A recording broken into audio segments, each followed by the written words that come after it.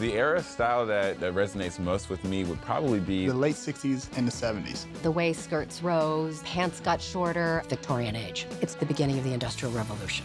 The 90s. Oversized shirts. Air Jordans. Oversized jeans. Neon colors.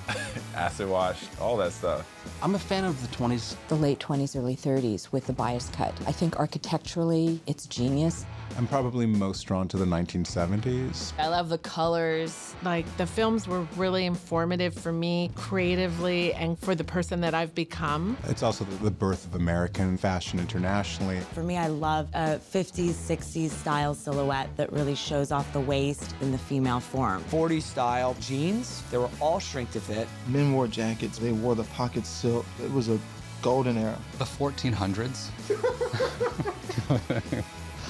I like mixing um, different decades or different styles. So there's no one time or place that I really associate with. I think there's beauty in, in so many different styles and eras. I have every look in the book, seriously. I do 80s, 50s, glam, rocker, punk, country. I have it all. But what I love the most is the vintage, old Hollywood, the 50s, the 60s. I love to pull out that Hollywood glam, you know, and that's what I do.